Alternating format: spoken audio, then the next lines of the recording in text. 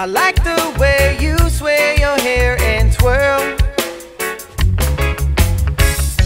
Come on, why can't I remember your name now?